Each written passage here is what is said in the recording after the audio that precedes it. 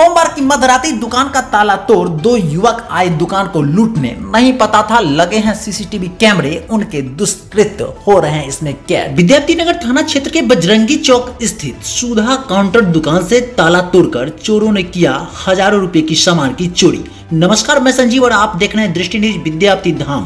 विद्यापति नगर थाना क्षेत्र के बजरंगी चौक स्थित आरती सुधा कॉर्नर में सोमवार की मध्य रात्रि चोरों ने दुकान का ताला तोड़ हज़ारों रुपए की सामान लेकर हो गया रफू चक्कर। इस बाबत मिली जानकारी के अनुसार, दुकान के प्रोपराइटर राजेश कुमार ने बताया की हम प्रतिदिन की भांति सुबह अपने दुकान को खोला था और रात्रि सोमवार के 11 बजे दुकान बंद कर घर चले गए। वही मंगलवार की सुबह मेरे पड़ोसी दुकानदार मुकेश पासवान ने करीब सुबह पाँच बजे मुझे फ़ोन कर यह जानकारी दी कि आपका दुकान का ताला टूटा हुआ है। वहीं हमने आनंद फानन में दुकान पर पहुँचा तो देखा कि मेरे दुकान का ताला वाकई टूटा हुआ है। वहीं दुकान के अंदर झाँक कर देखा तो पाया कि मेरे दुकान में करीब 12 से पंद्रह हज़ार रुपए के सामान सहित सीसीटीवी कैमरे के वाईफाई व दो कैमरे क्षतिग्रस्त कर दिया गया। वहीं घटना को करीब 21 मिनट में अंजाम देकर आसानी से चोरों ने रफू चक्कर हो गया। उक्त दृश्य व्यवसायी राजेश कुमार की दुकान में लगे। सीसीटीवी कैमरे में कैद हो गया, जिसको लेकर राजेश कुमार ने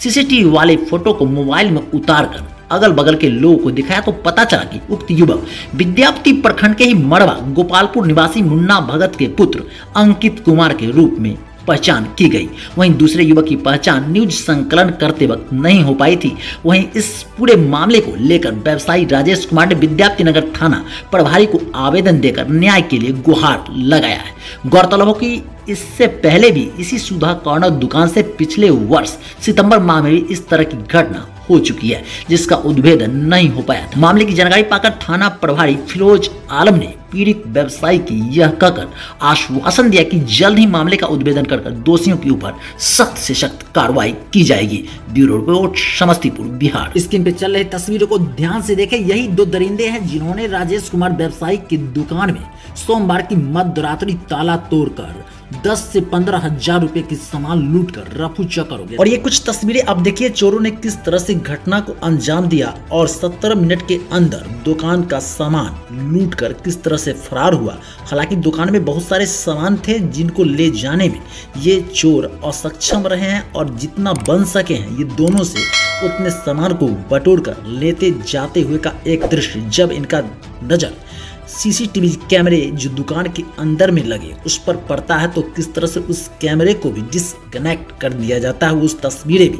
इस कैमरे में कैद होते हुए नज़र आ रहे हैं। साफ़ तस्वीरें आप देख पा रहे हैं। यही युवक, सातिर युवक है दोनों युवक, जो दुकान में घुसता है और घुसकर रात्रि के समय दुकान को लूट कर रफू चक्कर हो जाता है। आशंका जताई जा रही दुकानदार के द्वारा। इससे पहले भी जो घटनाएँ घटी है, इनके साथ हो ना हो, इसी दोनों युवक का इस घटना में हाथ हो गई। दृश्य को अंत तक ज़रूर देखें, जो तस्वीरें आप देखिएगा, किस तरह से युवक सामान को लेकर रफू चक्कर होते हुए नज़र आ रहे हैं सीसीटीवी कैमरे में। साथ में सीसीटीवी में लगे वाईफाई और दो कमरे को भी क्षतिग्रस्त कर कर रफू चक्कर हो गया। यह दोनों उक्त युवक किस तरह से चोरी की घटना को अंजाम दे रहे हैं, वो तस्वीरें, साफ़ तस्वीरें आप देख पा रहे अपने स्क्रीन पे। वहीं इस घटना के बारे में जानकारी पाकर एएसआई रंजीत कुमार घटना स्थल पर पहुंचकर इन्वेस्टिगेशन करते हुए नज़र आ रहे हैं। साफ़ तस्वीरें आप देख पा रहे होंगे। क्या घटना हुई थी? मुझे दुकान में चोरी हो गई सर और इससे पहले भी जो है विश्वकर्मा पूजा के बाद समय ठीक है ना 2022 में चोरी हुई थी जिसका रिपोर्ट मैं थाना में करने गया था लेकिन उस समय नहीं हो पाया था क्योंकि उस समय साक्ष्य नहीं था। अभी जो है मेरे पास पूरा जो है वीडियो रिकॉर्डिंग है जो कि 15 से 20 मिनट की घटना की चोरी को अंजाम दिया गया है ठीक है? उसका जैसे पूरा साक्ष्य है सर। कितने लोगों के द्वारा किया गया घटना? दो आदमी है अ, क्या क्या सर चोरी हुआ है?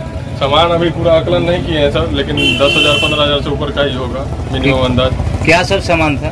सामान सब जैसे हॉर्लिक्स बड़ा उड़ा वाला था और जैसे रजनीगंधा मतलब जो भी था।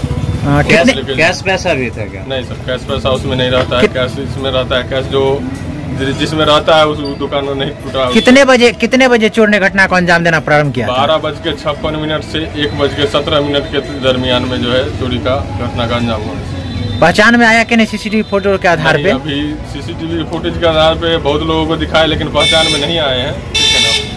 आगे देखते हैं क्या थाना को सूचना दिए हैं। ये ज़रूर सूचना दिए हुए हैं और आज आपको कैसे पता चला चोरी की घटना के बारे में? सुबह ये बगल वाले चाय दुकान मुकेश कुमार है ये हमको फ़ोन किए ठीक है और एक आदमी और है जो अब मेरे घर पे पहुँचे हुए थे जो आपके दुकान में चोरी हो गया है चलिए ठीक है तो मैं आप वहाँ तो इस रास्ते से दुकान में प्रवेश किया था वो इस रास्ते से आया है पीछे से और पहले आके कैमरा जो है ऊपर वाला जो है तोड़ा गया है। उसके बाद जो है इसे इसका ताला तोड़ने का कोशिश भी किया गया है लेकिन ये नहीं टूटा है तो फिर इसका जो है इसे मेन दरवाज़ा का ही ताला तोड़ के हाँ घुसा मेन दरवाज़ा का ही ताला तोड़ के घुसा है। मेन दरवाजे को किस चीज़ से तोड़ा गया पता चला? गरासे से तोड़ा गया है जो कि यहीं पे छुटा हुआ है कौन चीज़ से? किस चीज़ से? गरासा है कुट्टी काटने वाला ठीक है उसी से तोड़ा गया है जो यही है। दुकान के अंदर में ही छुड़ के चला गया अच्छा दुकान के अंदर में ही छोड़ के चला गया। और कैमरा तो तोड़ के ले ही गया ठीक है लेकिन गरासा यहीं पे जिससे तोड़ा है वो जो वीडियो में भी स्पष्ट है वो चीज़ यही है। क्या नाम है आपका? राजेश कुमार साहब